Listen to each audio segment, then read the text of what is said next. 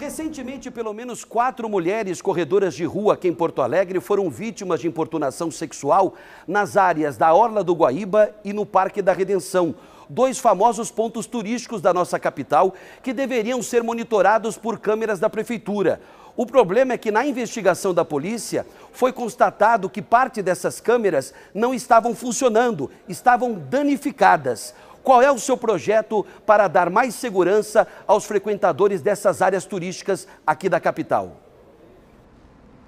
Bom, agradeço a pergunta ao jornalista Mota, né? E realmente esse é um caso muito emblemático. Tivemos manifestações recentes por conta dessa, desse episódio e é, não apenas o sistema de segurança das câmeras precisa estar com manutenção e funcionamento em dia, mas também nós queremos que haja mais patrulhamentos da nossa guarda municipal, que vem nos últimos anos de diferentes gestões sendo qualificada, sendo melhor treinada, sendo inclusive é, robustecida com veículos e com equipamentos. Então nós queremos que a guarda municipal porto alegrense possa estar mais presente, especialmente especialmente nos espaços públicos da nossa capital, como é o caso dos nossos parques. É, é muito trágico que a gente não sinta, não se sinta seguro para esperar um ônibus, uma parada de ônibus, ou né, como é nesse caso, de conseguir correr num parque, aproveitar um parque. Eu tenho uma filha de dois anos e três meses de idade, a Catarina, uh, e gosto muito, né, já tive algumas vezes em parques da cidade usando dos brinquedos na pracinha. Imagina não poder ficar uh, cedo da manhã, especialmente para a mãe, né, porque quando eu estou lá, o pai, ainda figura uh, paterna, acaba muitas vezes representando um pouco mais o sentimento de segurança. Mas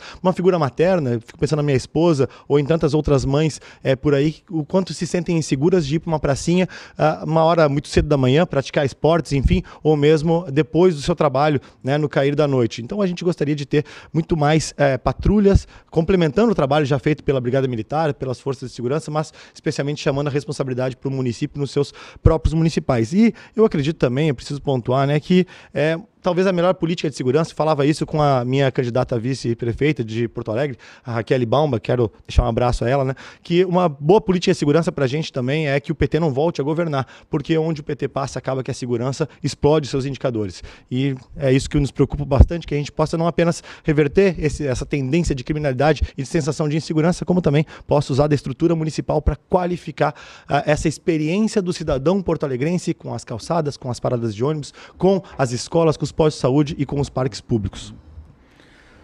Bom, acho que a nossa cidade tem uma boa cobertura tecnológica. Agora tem que dizer o seguinte: a chuvarada também fez com que muitas câmeras não estejam funcionando ainda, então voltando gradativamente.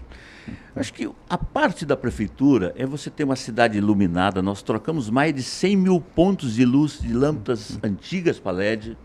Nós fizemos um concurso que há muito tempo não fazia, botamos 60 guardas, nós estamos com os containers na Redenção, no Parcão, vai chegar no centro. Os totens que estão no centro é uma ligação direta comunitária da guarda com a população. E é, o, o novo SEIC, né? o novo SEIC são 38 milhões, que é um empréstimo que fizemos no Banco né, de Desenvolvimento, é, no BNDES, e vai triplicar fisicamente e tecnologicamente, ou seja, com mais câmeras, mais tecnologia, vamos juntar ali a Defesa Civil, vamos juntar a SAMU, ou seja, tecnologia é importante, integração é importante, investimento é importante, uma cidade mais segura. Obrigado, candidatos.